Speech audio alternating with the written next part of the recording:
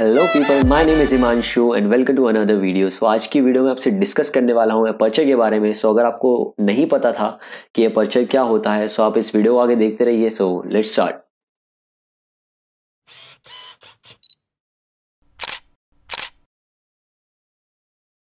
okay so the first thing is what is aperture so aperture basically हमारे lens में एक opening होती है, जैसा कि आप ये देख रहे हो, जिसके थ्रू हमारी लाइट पास होके हमारे कैमरा सेंसर को हिट करती है और उससे हमारी फोटोग्राफ आती है।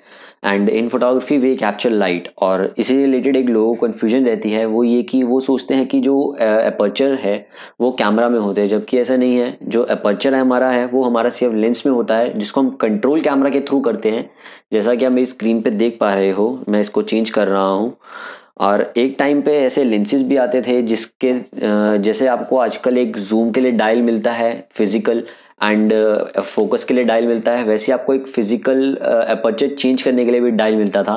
अब बात करते हैं अपर्चर को मेज़र कैसे किया जाता है। तो अपर्चर को मेज़र किया जाता है एफ़ स्टॉप में। जैसा कि आप स्क्रीन पे देख रहे हैं F one point four F two F two point eight four five point six eight eleven sixteen twenty two thirty two forty five sixty four अब एक स्ट्रीम चीज़ एफ़ स्टॉप के बारे में लाइक आप देख सकते हैं one point F one point four में जितनी बड़ी लेंस की ओपनिंग है, उसका एकदम अपोजिट उतना ही छोटा आपको एफ़ स्टॉप नंबर मिलेगा।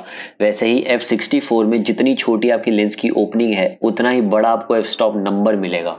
अब एक और चीज़ I am I am not sure आपने नोट किया नहीं, जैसे जैसे आप देख रहे हैं, जैसे जैसे एफ़ स्टॉप की वैल्यू बढ़ रही है, जो सर्कल साइज़ है करेक्ट उसका हाफ़ होते जा रहा है, जैसे आप 1.4 एंड 2 में देख रहे हैं, जो 1.4 का सर्कल साइज़ है एफ़ टू का सर्कल साइज़ उससे करेक्ट हाफ़ है। तो अब बात करते हैं पर्चर के यूजेस की, हम इसको कहाँ कहाँ यूज़ कर सकते हैं? तो first thing is it controls light and the second ये डेप्थ ऑफ़ फ़ील्ड को भी कंट्रोल करता है। सो पहले मैं लाइट के बारे में आपको बता देता हूँ।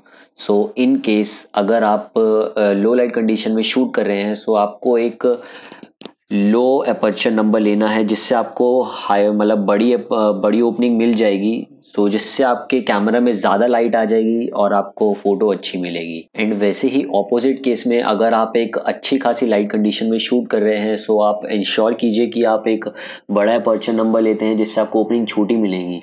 क्योंकि अगर आप एक छोटा पर्चर नंबर लेते हैं जिसको, जिससे आपको ओपनिंग एक बड़ी वाली मिल जाएगी, उसमें आपकी फ़ोटो ओवर एक्सपोज भी हो सकती है। ओके सो सेकेंड यूज़ के बारे में बात कर लेते हैं जो कि है डेप्थ ऑफ़ फ़ील्ड सो आप इस इमेज में जैसा कि आप देख रहे हैं कि जो सब्जेक्ट है सिर्फ़ वही फोकस में है और बैकग्राउंड कम्प्लीटली ब्लर्ड है।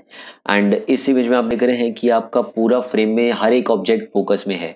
So depth of field basically means कि आपका फ्रेम में जो सब्जेक्ट है, उसके कितने एरिया पे फोकस है। अगर वो कम एरिया पे फोकस है, सिर्फ़ सब्जेक्ट पे फोकस है और बैकग्राउंड ब्लर है तो हम उसे शैलो डेप्थ ऑफ़ फ़ील्ड बोलेंगे। और वहीं अगर आपके पूरे फ्रेम में हर एक ऑब्जेक्ट में फोकस है तो हम उसे डीप डेप्थ ऑफ़ फ़ील्ड बोलेंगे। So if you want to shoot in shallow depth of field जिसमें आपको सिर्फ़ सब्जेक्ट पे फोकस मिलेगा एंड आपका बैकग्राउंड कंप्लीटली ब्लर रहेगा, उसके लिए आपको एक स्मॉलर अपर्चर नंबर लेना होगा। For example 1.4 and F two जिसमें आपको एक वाइड अपर्चर ओपनिंग मिलेगी। एंड अगर आपको डीप डेप्थ ऑफ़ फ़ील्ड में शूट करना है, जिसमें आपको हर एक ऑब्जेक्ट पे फोकस मिलेगा आपके फ्रेम में तो उसके लिए आपको एक हायर अपर्चर नंबर चूज़ करना पड़ेगा। For example F sixteen and F thirty two so उससे आपको एक स्मॉल अपर्चर ओपनिंग मिलेगी एंड उससे आप deep depth of field click कर सकते हैं। So that's it I hope आपको अपर्चर समझ में आ गया होगा एंड अगर इन केस अगर आपको कोई फोटोग्राफी से रिलेटेड कन्फ्यूज़न है you can message me on Instagram my Instagram handle is mister frame addict and also follow me and अगर आपको ऐसी ही और फोटोग्राफी से रिलेटेड वीडियोज़ देखनी है so subscribe to this channel mister frame addict